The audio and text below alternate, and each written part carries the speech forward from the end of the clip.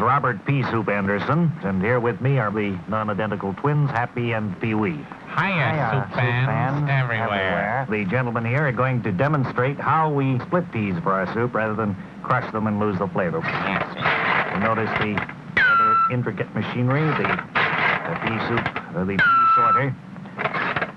And I thought so. That one was a dud. That's right, an automatic, Automatic reject, reject feature, of feature, the uh, machine. Unlike some uh, soup manufacturers, we're not much interested in how many cans we can crank out every minute, but more in how good our soup is. In fact, when my friends say to me, Robert P. Soup Anderson, how come no one else but you can soups with real delicious homemade flavor? I tell them it's because of an extra ingredient in every can. And that ingredient is time. It's in my delicious split pea, beef burger, cream of chicken, or old-fashioned bean soup. Try, some today, Tonight. Today. a week from Tuesday.